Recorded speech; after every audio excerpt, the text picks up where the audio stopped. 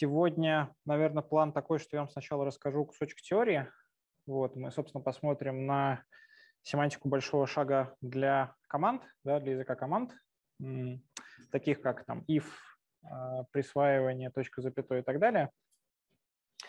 Вот, потом мы посмотрим на задачки по языку выражений, вот потому что у нас было раньше в Коке. Вот, ну и сразу посмотрим на, собственно, на задачки в Коке, на то, что будет сегодня. Может, какие-то вопросы есть с прошлых занятий? Технические по коку, наверное, сейчас не очень хорошо задавать, вот, но если есть какие-то теоретические вопросы, то хорошо задавать. Нет? Никого нет? Ну, хорошо. Тогда давайте приступим. Сейчас. Да, ну, собственно, наш язык команд будет выглядеть вот так. Вот, в коке он будет чуть-чуть побольше. Вот, там еще появится шаг, в смысле, инструкция read и инструкция write, да, которые на самом деле будут выглядеть как что-то, какое-то выражение вывести в поток и из потока прочитать некоторую переменную. Вот, но, собственно, вот их мы будем игнорировать в теории, в презентажках, вот, но займемся ими а, на, на практике, соответственно. Вот, из того, что, собственно, да, есть и в теории, и в практике, у нас будет э, инструкция skip, да, которая ничего не делает, это просто да, инструкция, которая ничего не делает. Инструкция присваивания, да, которая вычисляет некоторые выражения и присваивает его в переменную x. У нас будет э, последовательная композиция команд, да, оператор точка запятой, ну, понятно, if и while. Теперь давайте посмотрим на семантические правила.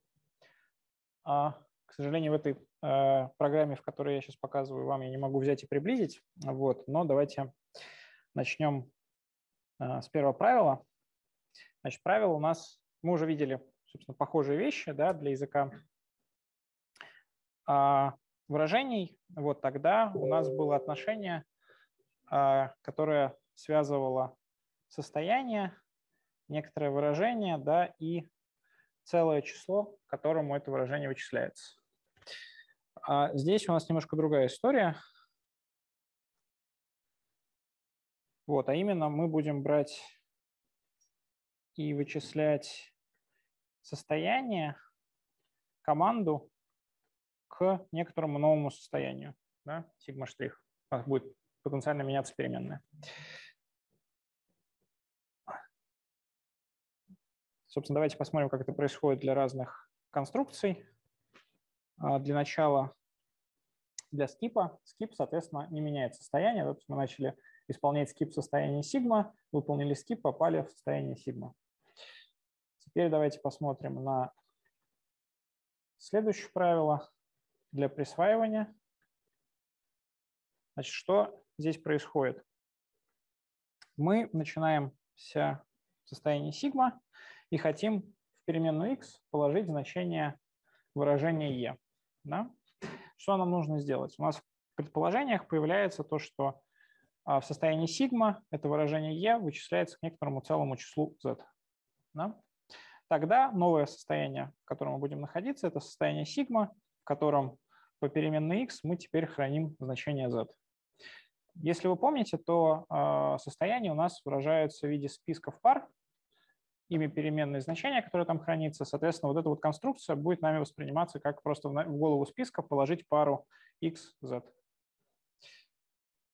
А, соответственно, правило для последовательной композиции.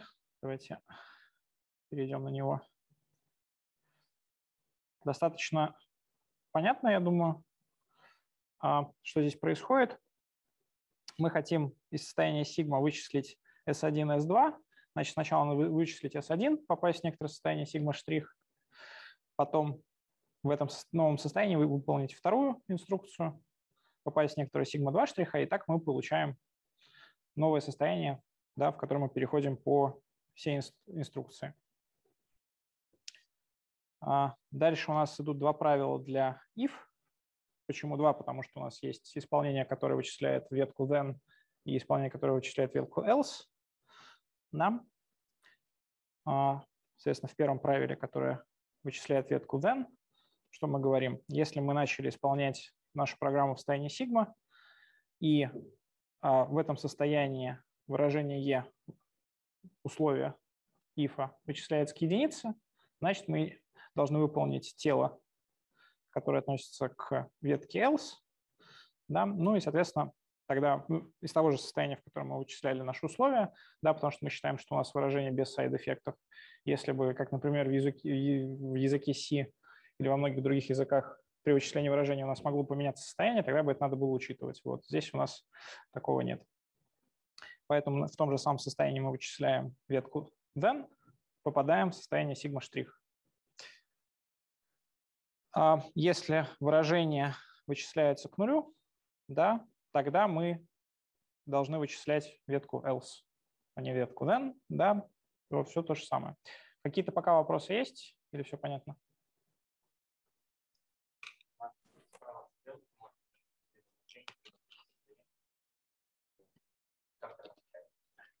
А, мне, видимо, надо повторять, да, вопрос?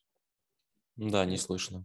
Ага. Значит, вопрос был такой, что, э, что у нас может находиться справа от стрелки. Это может быть выражение, ну, в смысле состояние и э, некоторое число, да, и как, собственно, отличать. Ну, на самом деле здесь такая как бы перегрузка вот этого оператора а, треугольные скобочки стрелка, да. В коке у нас это будут какие-то там, соответственно, отношения, которые просто будут разные, да, и у нас там будут разные для них нотации. Ну, здесь, на самом деле, я думаю, что из контекста более-менее понятно, да, когда мы вычислим, когда второй аргумент – это, э, значит, некоторые, некоторая команда, да, тогда справа от стрелки обязательно должно быть состояние. Вот если здесь выражение, так как вот здесь, тогда справа от стрелки э, целое число. Ну, то есть более аккуратно, конечно, было бы там использовать немножко разную нотацию, вот, но я, я надеюсь, что это не очень большая проблема. Еще какие-нибудь вопросы? Хорошо. Ну, тогда у нас осталось два правила для while. Давайте начнем со второго, оно попроще. Если в состоянии сигма, в котором мы начинаем вычислять наше выражение while, а условия цикла вычисляются к нулю, тогда мы, собственно, вообще не меняем состояние. То есть мы ничего не делаем, не исполняем while. В альтернативном случае, если в нашем состоянии сигма выражение e вычисляется к единице, да, то мы должны выполнить тело цикла, да, вот, а потом в этом новом состоянии попробовать еще раз выполнить цикл. Да? Вот, если мы попадаем в некоторое состояние сигма 2 штриха, значит и весь цикл, начиная с состояния сигма, вычисляется к сигма 2 штриха. Хорошо. Давайте тогда дальше пойдем. А, у нас была эквивалентность а, выражений. Вот теперь давайте введем эквивалентность команд. Собственно, как вы думаете, как должно выглядеть это определение? Что значит, что одна команда эквивалентна другой команде?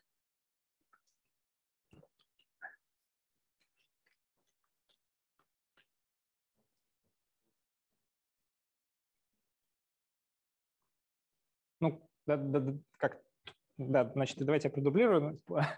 Поступило предложение, что как-то должно э, связываться с одним состоянием. Вот, хочется, хочется что-то чуть более конкретного.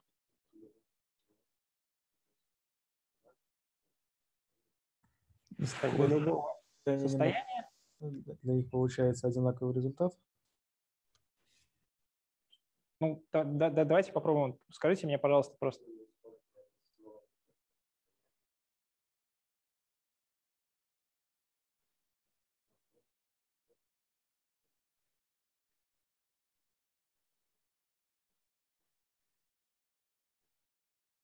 Вот так вот, да? Хорошо, смотрите, что такое фигурные скобки? Вот, ну, во-первых, мы их не определяли просто, мы их определяли вместе со стрелочкой. Вот, в том, что то, как сейчас написано, говорится, что для любого состояния пара состояния S0 должна равняться паре состояния S1. Соответственно, мы на самом деле, конечно, задали некоторое отношение к валентности, вот, но это просто, соответственно, диагональное отношение на состояниях, да?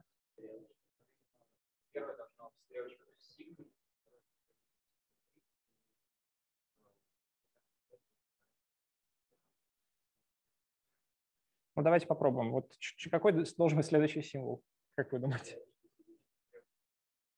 Хорошо, сигма-штрих. Смотрите, у нас появилась сигма-штрих, она у нас не под, не, нету квантора, под которым она находится. Что надо сделать? А где? Она будет... Вот так вот?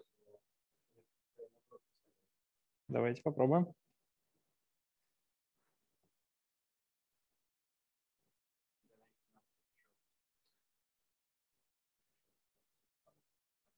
Под каким квантором?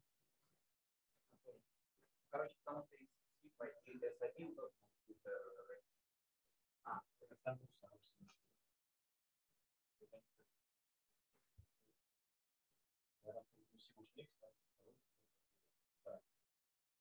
Короче, там также после этого выражения сигма S1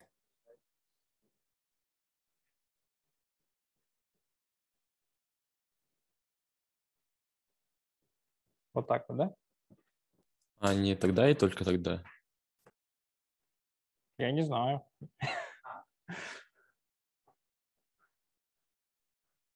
Ну, раз это отношение к валентности какое-то, то, видимо, тогда и только тогда. Хорошо, давайте попробуем.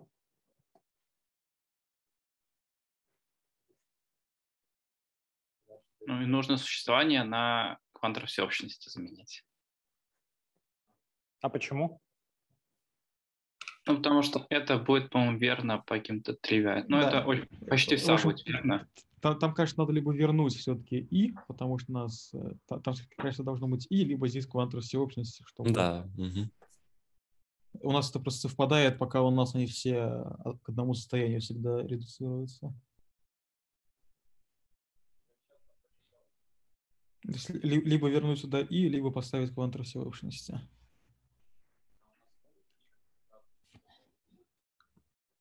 Значит, из, из аудитории поступил вопрос, могут ли э, они вычисляться к разным состояниям. Они это кто?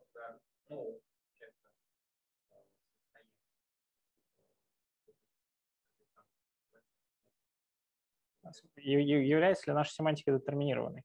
Такой вопрос, да? То есть может ли, начиная с одного и того же состояния, исполнение одной и той же инструкции приводить к разным состояниям?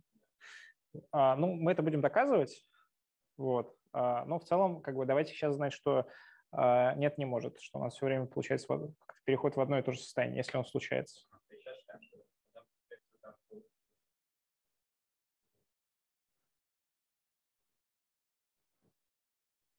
Хорошо. Давайте тогда такой вопрос.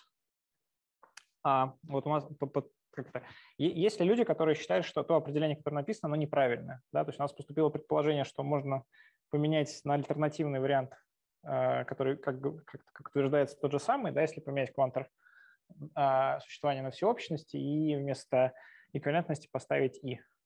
Вот. Ну, давайте пока вот, вот это определение. Всем ли оно нравится? Вот, кажется, можно найти, когда и слева, и справа, типа, ложь стоит, и будет, типа, Да, эквивалентно. есть Это кажется верно почти для всех возможных команд.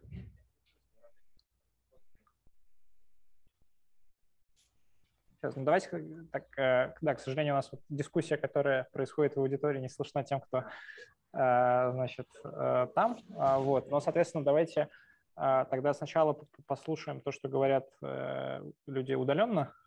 А, Значит, появилось предположение, что а, должно выполняться тривиально, да? Я правильно понял? Да. там другой? А, Почему? Ну, есть какой-нибудь пример? Давайте, давайте, В- давайте в- попробуем.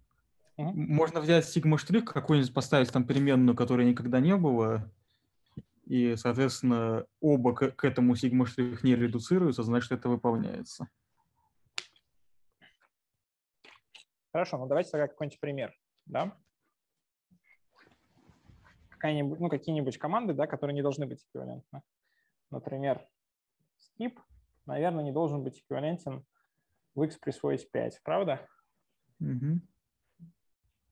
Вот, соответственно, давайте посмотрим, а можем ли мы придумать такое сигма, для которого получится найти сигма штрих. Нет, сейчас. Для люб... Да, значит, нам надо показать, что они эквивалентны. Соответственно, мы берем произвольное сигма, да, и должны показать, что для произвольного сигма существует такой сигма штрих, что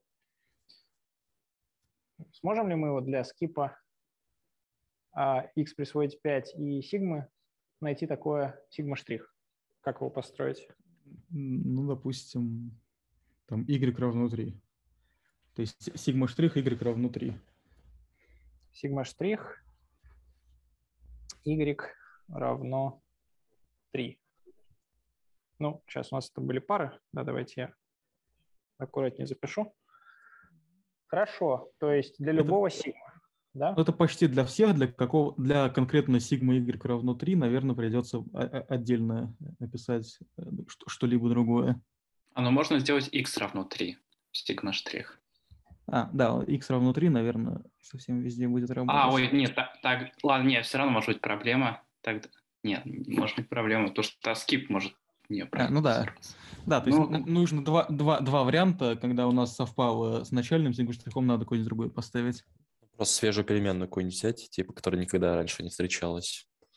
Ну вот Y, например, вроде свежая, да? Да. Не, она просто в сигма обычного она уже могла быть. А, окей, хорошо. То есть мы хотим... Ну, нам нужно для всех сигм, то есть у нас всегда найдется такая, которая совпадает с тем, что мы взяли. И для конкретно этого случая нужно взять что-то другое. Да, мы выбираем после того, как типа, нам дали уже сигму. Ну да. Хорошо, так э, результат-то какой? Значит, что мы делаем? Давайте доказательство фиксируем. Сигма. Какой это? Какой следующий шаг? Как мне, как, э, как-то какой сигма-штрих мы строим? Добавляем новую переменную, которой у нас нету в сигма. Угу. Соответственно, берем, ну давайте z, такая, что она не принадлежит сигма. Ну, понятно, не принадлежит, я имею в виду, что не, в сигме нету пары, э, которая связывает z с чем-нибудь. Хорошо, дальше. Тогда сигма-штрих это что такое? Присвоить z единица. Ну, взять, взять сигму и присвоить z единицу, да. Вот так вот. Хорошо. Тогда а, skip Тогда вот это вот утверждение для скипа будет ложь, да? И вот это утверждение тоже будет ложь для x присвоить 5. Хорошо, действительно. У нас получилось доказательство, что наше определение несостоятельно. Надо его переделать. Вот. В чем, в чем в нем проблема в этом определении?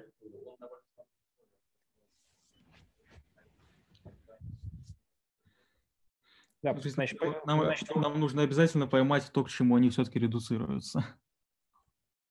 А в аудитории было сказано, что пока у нас она слишком слабая, потому что, еще раз, как? Потому, ну, потому что существует, да. Хорошо, ну так давайте, у кого есть какие идеи, как это можно поправить?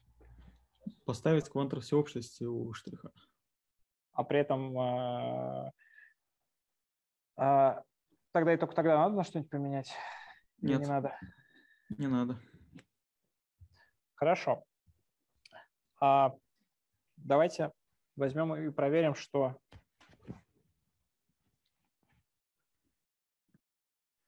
то условие, которое мы теперь написали, хотя бы не выполняется для пары skip и x присвоить 5.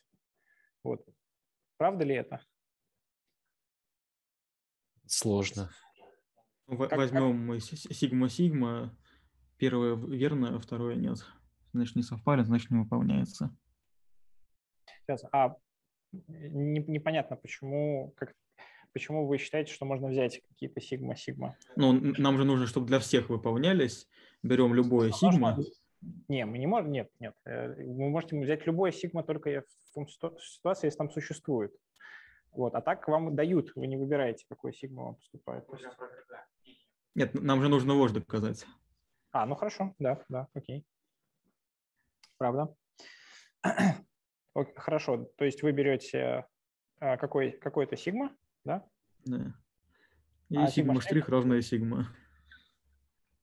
Окей, ну давайте сигма сигма я напишу. А, хорошо, а если в этой... Э, вы можете произвольную сигму взять? Или вам да, любая, любая конкретная сигма подойдет. Ну, только x не должен быть равен 5. А, вот а, такая ну да. подойдет? Не подойдет, хорошо. Значит. Не подойдет, да. Ну, почти любая. Хорошо, значит, какая нам почти любая сигма нужна? Пустая. Пустая. Ну, хорошо, пустая, например, да. Вот, ну или на самом деле, да, там, любая, в которой x не равен 5. Хорошо.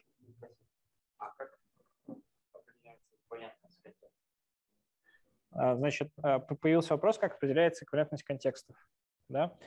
А, ну, соответственно, мы как мы здесь опять же вольны ее задать как хотим, да, вот, но, наверное, логично было бы задать, что для любой переменной они, они возвращают одно и то же значение. Да, да, да. То есть, например, кстати, вот э, на, на, на фоне вопроса значит, э, об эквивалентности состояний, э, вот такой вопрос. Э, ну или так, давайте так. Кто-нибудь видит теперь проблему, когда, значит, мы, когда поднялся вопрос от, э, об эквивалентности состояний?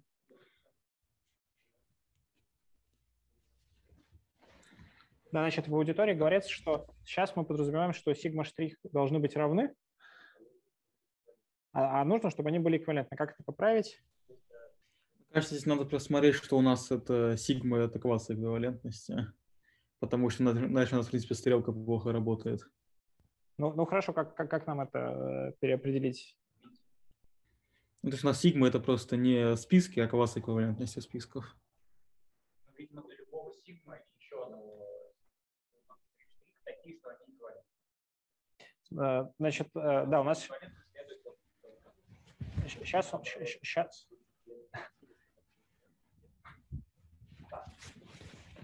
Да, нам, видимо, нужно как-то микрофон завести э, в аудитории. А, хорошо, значит, в аудитории появилось предложение без э, введения классов эквивалентности, да, а, собственно, что я бы хотел попробовать а, сделать, соответственно, записать это как-то вот с помощью кванторов, да, того, что у нас есть. А, значит, скажите, пожалуйста, в итоге, как, какая, какое у вас предложение? Как это должно выглядеть? потом а Два штриха? Ага. И сказать, что вот то, что написано справа, оно э, посылка импликации для левой части это сигма. То есть это посылка, и вот должно наоборот. Из того, что сигма эквивалент Так.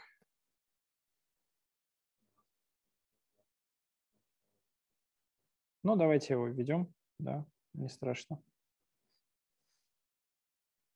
Да, как-то вот так вот. А, все ли согласны, что... Сейчас, подождите, давайте, давайте пока без новых предположений. Либо, ну, то есть, давайте разберемся, работает ли вот эта штука. Вот так вот.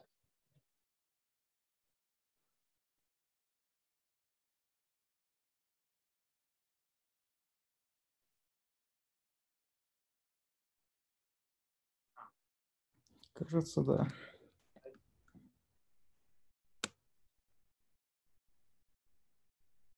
То есть, на, самом деле здесь все-таки проблемы у нас стрелка к конкретному состоянию. Это, это не а, очень. Да, значит, в аудитории появилась фраза о том, что мы хотим как-то по-другому. Что-то, что, что-то хот... автор что-то другое хотел сказать. Сигма и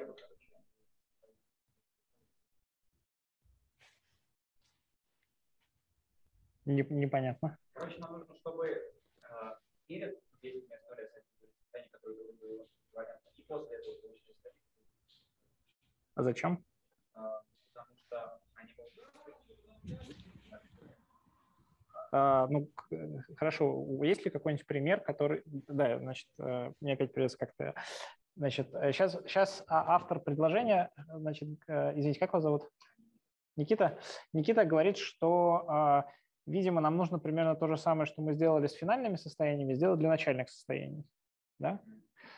А, собственно, я как-то у меня, у меня к вам такой вопрос. Есть ли, а, можете ли вы привести пример, когда это важно?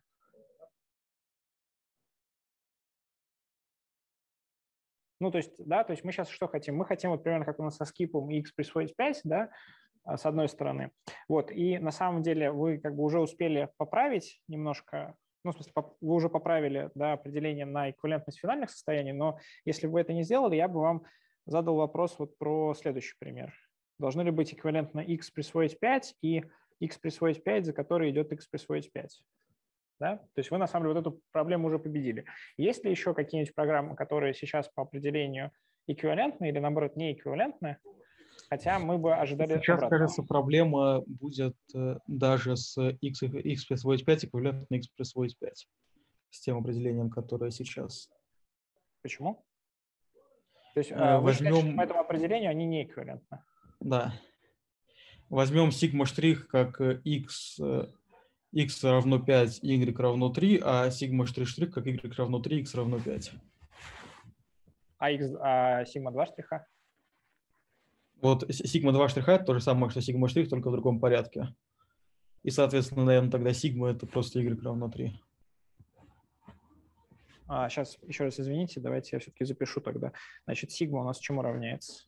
И y3. y3. Значит, сигма штрих x5, y3. x5, y3. Да?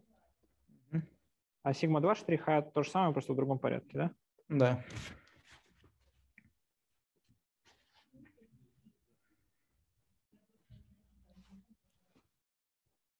Есть ли проблема? Все ли видят? Если проблема есть.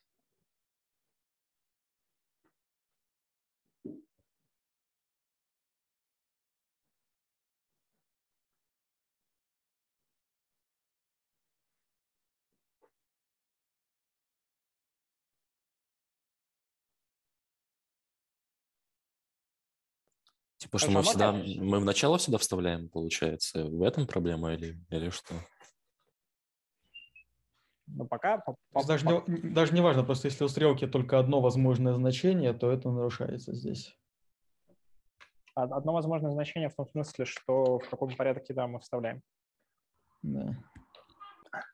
Хорошо. Как, по- как победить эту проблему?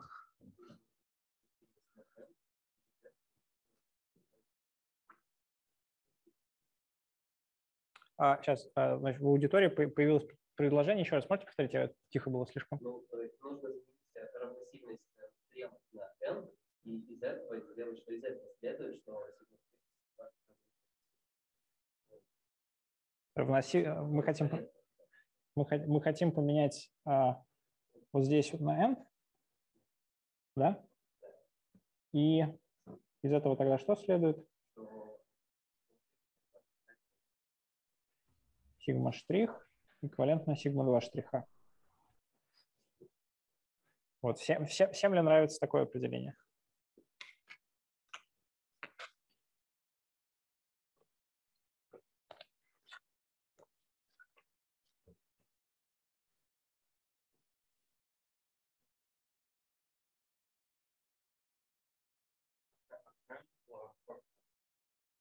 В прошлый раз была проблема, что вот для вот такого набора состояний, который внизу, x присвоить 5 не был эквивалентен x присвоить 5.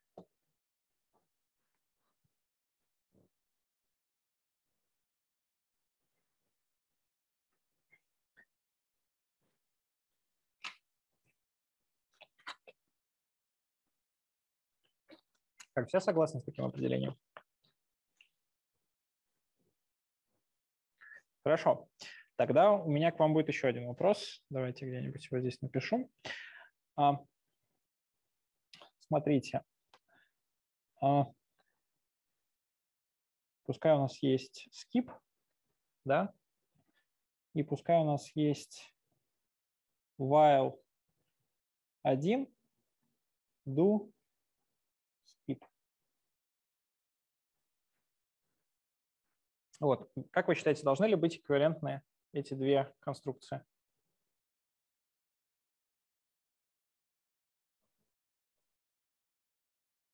Вот. В аудитории говорят, что одна из них зависает. Наверное, не скип. Да?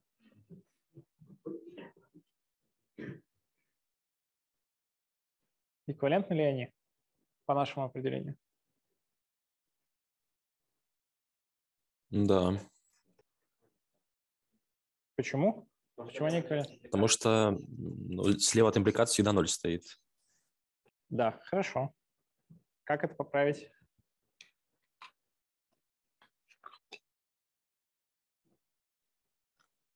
Ну, пот- потребует, чтобы хотя бы одна вот э, сигма, которая стоит справа от стрелочки, существовала. В принципе, вот пока у нас, кажется, стрелочка все-таки однозначная, можно добавить кванты существования все-таки к э, сигма-штрихам Да. обоим. И этого будет достаточно. Если, если бы у нас была многозначная стрелочка, было бы веселее. То есть мы хотим сказать вот так вот, да, что существует. Хорошо, всем ли нравится такое определение? Да, импликацию надо убрать. И там тоже конъюнкцию, наверное, сделать.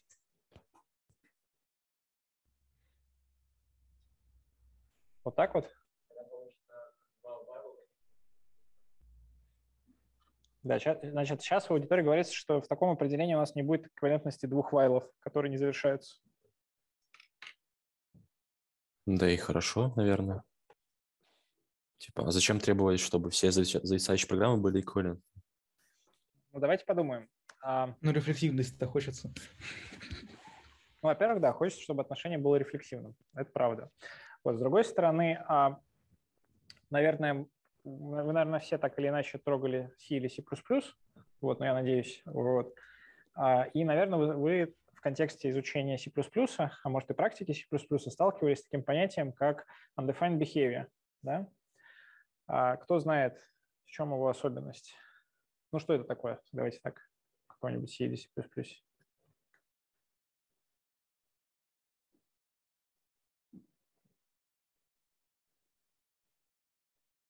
Ну, что при разном запуске разные значения могут получаться. и, ну, ну, Не, точно. ну это, не- это не детерминированность, это неинтересно. Что такое undefined behavior? Неопределенное поведение. сейчас, неопределенное поведение, это вы перевели. А, значит, а что это ну, означает на практике? Ну, то есть, как бы, если, если ваша программа в соответствии с стандартом есть undefined behavior, что, что как, как она может исполняться? В аудитории сказали, как угодно может исполняться.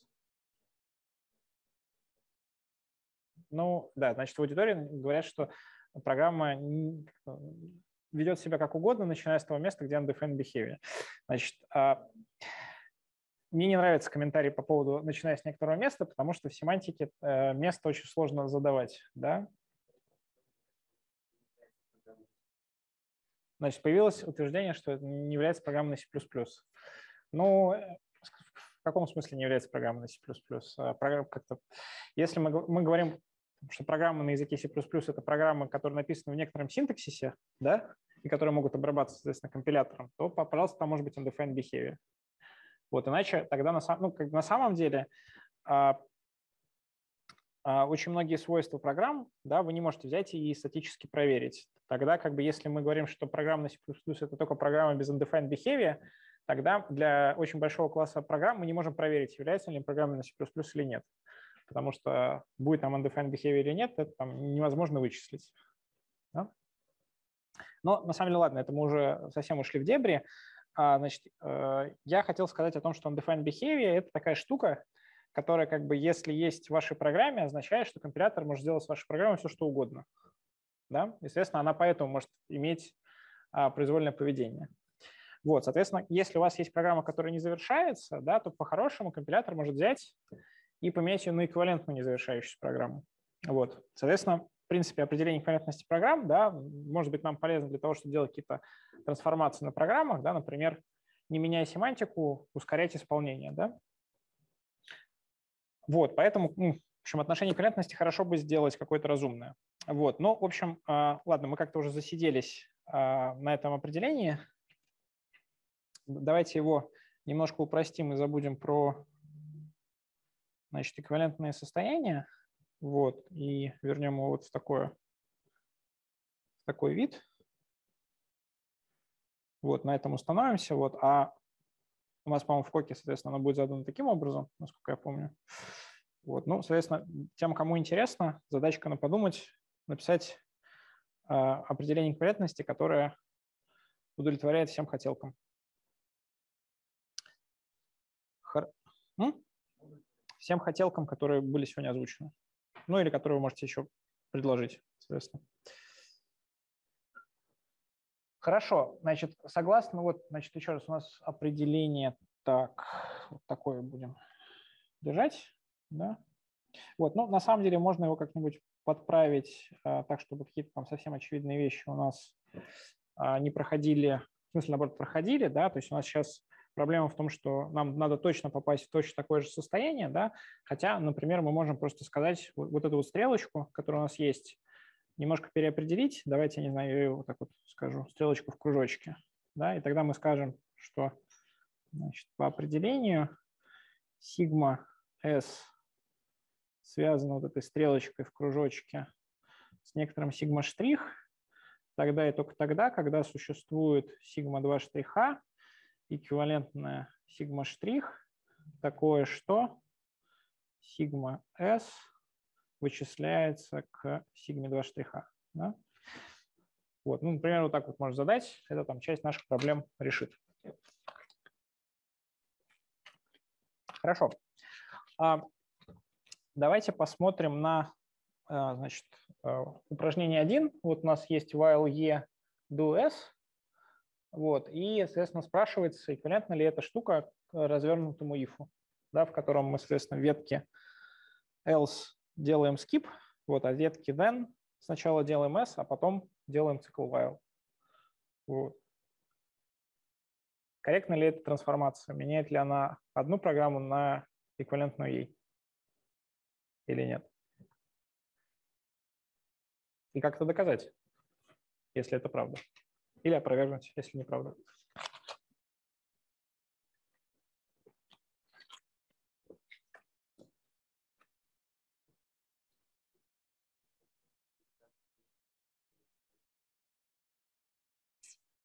Е, а чем нам поможет?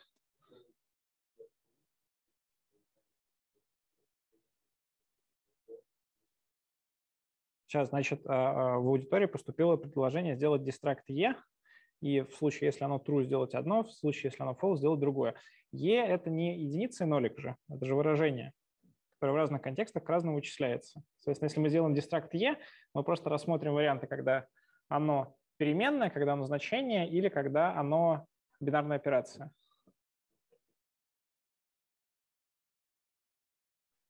И что нам это даст?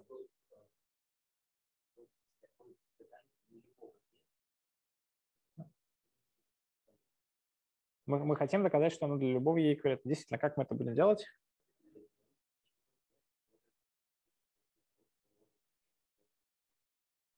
Значит, э, поступает приложение для E перебрать варианты, которым оно может быть вычислено.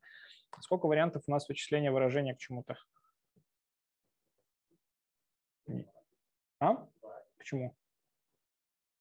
А 5 плюс 5 к чему у нас будет вычисляться?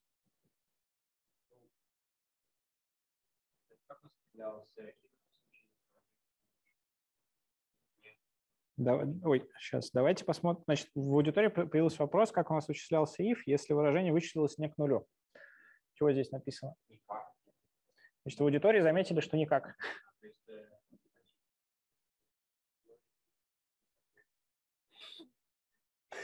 Значит, в аудитории говорят, что есть три варианта. 0, 1 и никак.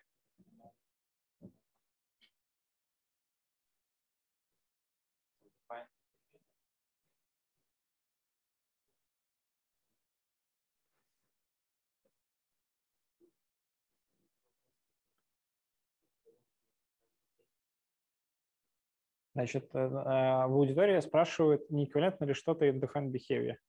Смотрите, undefined behavior у нас был в плюсах, здесь у нас его нет.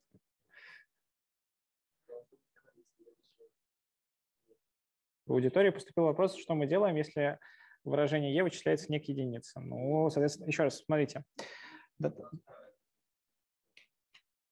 Значит, э, в аудитории сказано, что у нас есть правила, которые у нас, значит, у нас есть для преобразования а поэтому ничего не делаем. Смотрите, а, значит, истина где-то посередине вот этого всего. Значит, еще раз, что такое семантические правила? Да, это просто способ задать трой, ну, в общем, отношение тройки, да, которые связывают состояние программы еще какое-то состояние. Вот, соответственно, для а, случая, когда у нас, например, написано if 3, then skip, else uh, skip вот. Для любого состояния начального, да, мы не сможем просто подобрать такое со- состояние сигма штрих, что к нему мы вычисляемся, да, потому что для такого, просто у нас нет правила, которое позволяет породить такую, а, такой, такую тройку. Вот, соответственно, а, как бы да, вы мыслите сейчас операционно, в том смысле, что вот вы говорите, вот у нас есть некоторое состояние, вот у нас есть программа, мы должны уметь как-то сделать шаг, да, куда-то сходить дальше, что-то сделать. Вот здесь это не совсем так, да, то есть мы как бы задаем, конечно, семантику, которая исполняет вот некоторые шаги, да, поэтому она, э, как называется, императивная, да, наша семантика. Вот, однако она как бы не обязана всегда иметь возможность сделать шаг. Вот, ну, соответственно, вот для таких вот ифов, например, не делает. Хорошо, давайте вернемся вот к нашему x1. Как, как, как нам делать такие доказательства?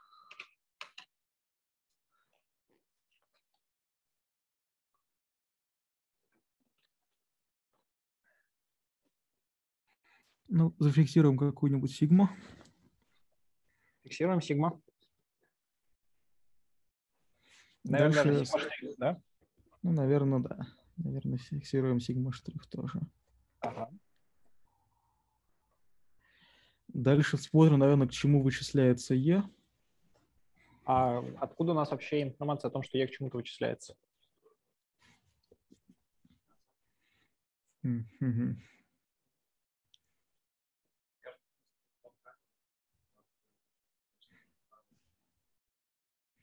то есть, наверное, смотрим, вычисляется ли к чему-то Е.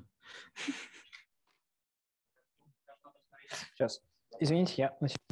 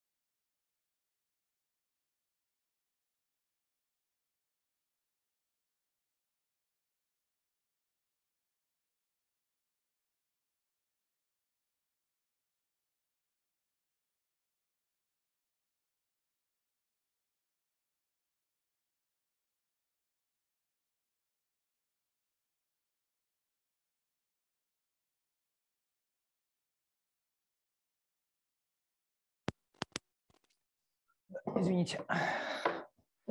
Меня слышно? Тем, кто удаленно слушает. Да. Да? Ага, да, извините. А, да, а появилось ли какое-то понимание, что дальше делать? Ну, то есть смотрим, вычисляется ли к чему-то Е. А, а- а как мы это будем смотреть? Типа там существует дерево, либо не существует дерево вычислений, ну, состоящее из правил. Смотрите, существует, не существует, это рассуждение классической логики, которая, например, в Коке нам просто так недоступна. Не, просто если... если- не существует, то там не, на- не найдется правило, которое... Ну, то есть О. пыта- пытаемся вычислить Е, оно либо получится, либо нет. Е Е в состоянии сигмы. А, еще, э, Я не, не понимаю, как вы собираетесь все вычислять еще раз. У нас есть некоторые отношения, да, которые связывают. Вот мы не можем его вычислить. А вопрос такой, а while мы можем как-то раскрыть по определению? Ну, смотрите, вот у нас есть while. While – это синтаксическая конструкция. Для while у нас есть вот такая вот семантика. Вот. Больше у нас ничего нет для while. Может, реврайты сделать парочку. Чего сделать рерайты? Не, ну слушайте, вы как-то уже просто слишком полюбили кок. Да.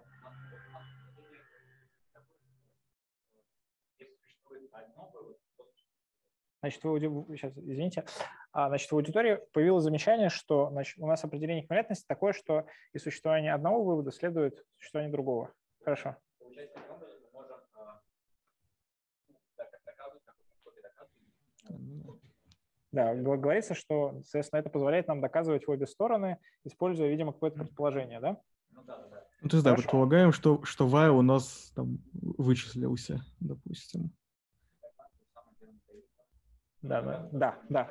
Значит, э, спасибо, вот вы, собственно, все правильно сказали, давайте я просто да, скажу сам, чтобы это на, на две аудитории. В общем, на самом деле, да, у нас есть, э, значит, предположим, значит, что нам нужно показать? Мы хотим показать эквивалентность, да, вот, соответственно, нам нужно показать, что из того, что у нас следует это, в смысле, существует вот такой вывод, у нас существует такой вывод, да, и наоборот, если у нас существует этот вывод, у нас есть вот такой вывод. Вот, ну, соответственно, мы начинаем с того, что фиксируем какой-то вывод, да, ну, например, для вайла. Вот, дальше смотрим правила для вайла. В правиле для вайла у нас есть два шага, да, либо такой, ну, в смысле, вот такой шаг с таким предположением, либо вот такой шаг вот с таким предположением, да, значит, e у нас вычисляется к единице или к нулю. Если мы идем с другой стороны, да, то у нас, э, когда у нас есть семантика для if, да, у нас аналогично. Либо есть, что e вычисляется к нулю, либо есть, что e вычисляется к единице. Вот. Теперь давайте, а, ну, дальше на самом деле а, шаги достаточно простые, тут даже никакой индукции не понадобится, все понятно и просто. Ну, вы, соответственно, в коке это провернете. Там такое задание есть. А теперь такой вопрос. А что делать, если вот в этой ситуации у нас e равняется 3? В каком месте, в смысле, почему наше доказательство не ломается? Потому что мы предположили, что вот эта вот левая часть, ну, существует, когда мы э, импликацию доказываем. Да, то есть у нас обязан существовать, а, значит, вывод либо для while 3 do s, да, в одном случае, либо в обратном случае if 3, then э, э, одно, else другое, да, соответственно, это неправда, у нас так, так, так не может получиться, соответственно, мы из этого получим противоречие. Хорошо. Сейчас уже, наверное, проделывать не будем, но помните, мы с вами обсуждали такую функцию cfold, да, свертку констант. Вот мы ее делали для а, выражений на основании а, семантики, э, определения эквивалентности выражений. Да? Соответственно, как мы могли бы ее использовать для уже а, значит, эквивалентности команд, да, мы могли бы взять, пройтись по нашей команде, да, и в ней поменять выражения, которые могут быть, свернуты, да, на, собственно, свернутые выражения. И потом мы могли бы показать эквивалентность. Да? Я надеюсь, что это понятно, как делать. Хорошо. А, да, теперь, собственно, вот вопрос. Мы уже говорили, что а, семантика детерминирована, да, а, что для любого состояния... Можно, пожалуйста, еще раз про сифолт? Я не понял, если да. честно. Хорошо. Смотрите, давайте тогда чуть-чуть подробнее скажу. Смотрите, у нас есть вот такая вот инструкция, например, x плюс 2 плюс 3. Да? Вот, а мы уже обсуждали, что вот эту штуку мы можем показать, что она эквивалентна числу 6, да? где эквивалентность, она задана для, собственно, выражений. Соответственно, мы бы хотели научиться э, программу преобразовывать вот в такой вид и показывать, что после этого преобразования мы получаем эквивалентную программу. Вот. Но вот это вот это а, будет получаться рекурсивным вызовом cfold на а, всех выражениях, которые есть в команде. Понятно? Да. Вот, ну, соответственно, это вот такая как бы одна из простейших оптимизаций программ, которые может делаться, да, и которые делаются в компиляторах. Вот, и, соответственно, вы можете показать, что она корректная, эта оптимизация. Хорошо. А, да, давайте теперь дальше поговорим еще раз про, э, про детерминированность. А как показать, что вот эта семантика детерминирована? То есть, что для любого а, состояния и для любой команды она будет, если вычисляется, то вычисляется к одному состоянию. Как это сделать? И правда ли это? Ну, то есть мы уже предполагали, что это правда?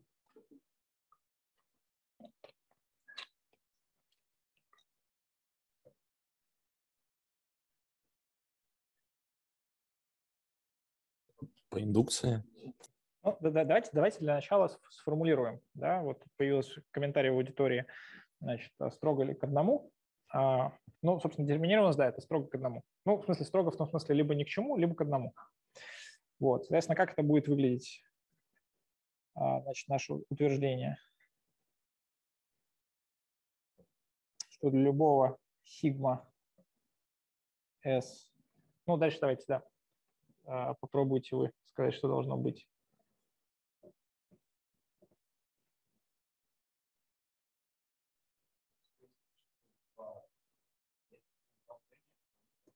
Для любого сигма штрих, сигма штрих штрих. Ага.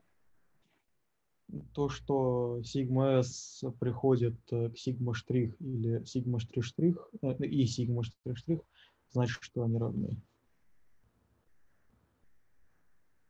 Из этого следует, что сигма штрих равняется сигма 2 штриха. Ну да. Собственно, как это доказывать, а, как это доказывать для той семантики, которая у нас есть? Ну, давайте будем считать равны в точности. Вот, потому что, ну, на самом деле здесь будет верно, понятно, что а, а, как-то эквивалентно не равны, а приходим в эквивалентное состояние, это более слабое утверждение, но для этой семантики мы можем доказать более сильное утверждение вот это. Вот как его доказать? Там э, был- комментарий по индукции, вот это правильный ответ почти на все вопросы в этом курсе. Типа предположить, что у нас э, посылки, или как сказать, ну то, то, что над чертой, там единственное, ну то, что там уже детерминировано, предположить. И доказать, что ну, для вывода тоже будет детерминировано. Сейчас, давайте так, а для начала просто как-то попробуем сказать индукцию, почему мы это будем делать. По s По S, да? Ну вот на самом деле по S не получится. Вот, знаете почему? Потому что у вас есть правило, в которое S не меняется. Какое? While. Вот, while, while, да. Вот здесь вот у нас индукционный переход не получится делать, когда у нас такое правило. Да? Вот, значит, в аудитории начали говорить по а, дереву, какому дереву? Да, делать по дереву вывода стрелки. Ну, вот, соответственно, это, это правда. Вот. Вот. Хорошо, ну, соответственно, сделайте это в скоке. Вот. А, да, ну теперь а, такой, э, значит, у вас тоже будет задачка. Вот, она, наверное, будет э, самой длинной задачкой этого курса. Вот. А задачка следующая. Вот смотрите, вот есть э, алгоритм Эвклида. А, Я надеюсь, все его здесь видят в этом цикле. Вот все ли знают, что такое алгоритм Эвклида? Кому- Кому-нибудь надо пояснить?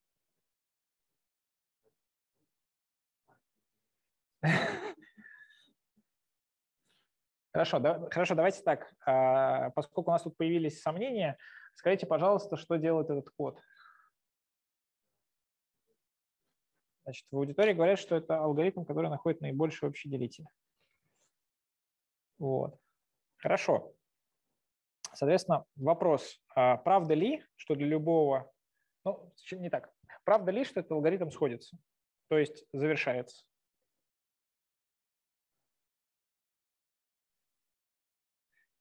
И, соответственно, да, следующий вопрос, почему он сходится. Вот. Ну и на самом деле, ну, нам нужно будет доказательство да, этого. Вот.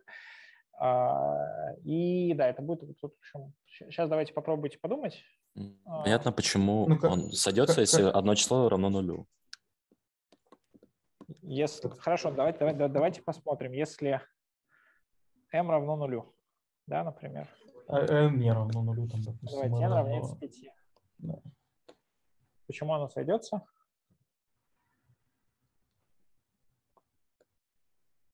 Кажется, оно здесь не сойдется.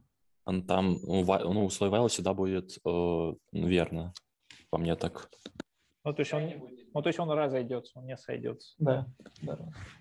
Хорошо. То есть мы нашли, значит, э, входы, входные а, аргументы да, для этого а, алгоритма, которые показывают, что он не сойдется на них. Хорошо. А есть ли какой-то разумный класс аргументов, на которых он точно сойдется? Оба числа не равны нулю, точно. По-моему, положительные. Ну, даже, даже было. вроде отрицательных пойдет. Возможно, отрицательные тоже.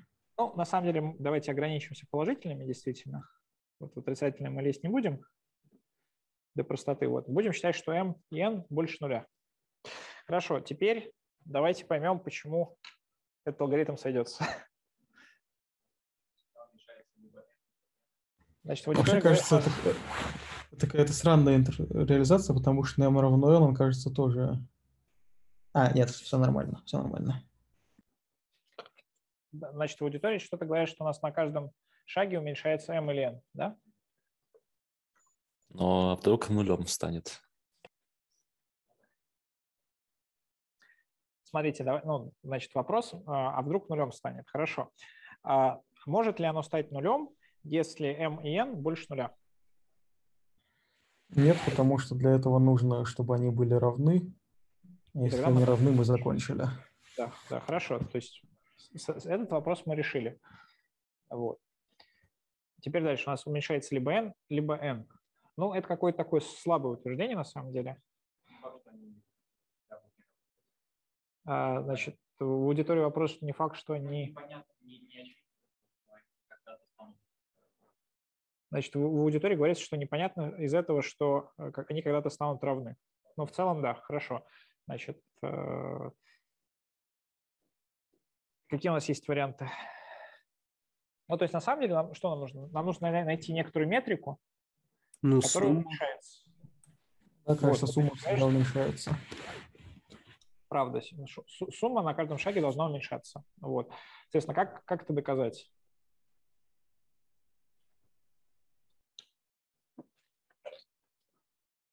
Ну, давайте про- просто формально докажем, что у нас на каждом шаге сумма уменьшается.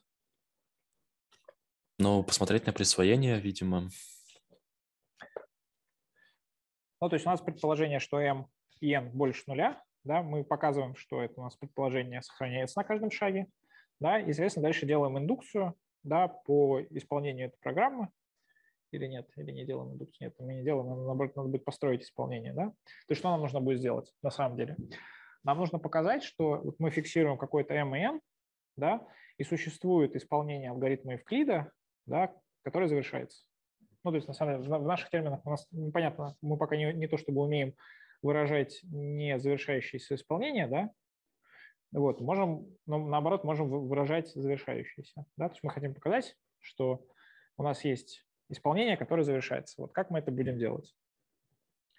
Ну, нам на самом деле как бы по правилу для while,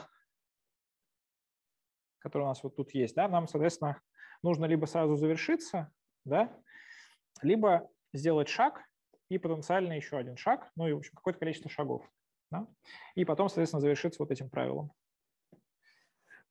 Вот, ну, соответственно, мы просто строим индукцию, да, которая показывает, что после каждого шага у нас уменьшается сумма, да, вот, и, соответственно, дальше она либо доходит до некоторого критического состояния, да, вот, либо, ну, в смысле, когда она доходит, мы завершаемся. Что? Ну, э, на самом деле, если э, числа стали равны, ну, да, сейчас, извините, еще раз вопрос, как сумма нам позволяет пон- понять, что числа стали равны?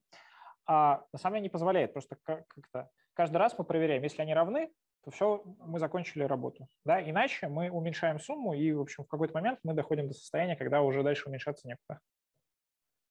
И поэтому они должны быть равны. Да?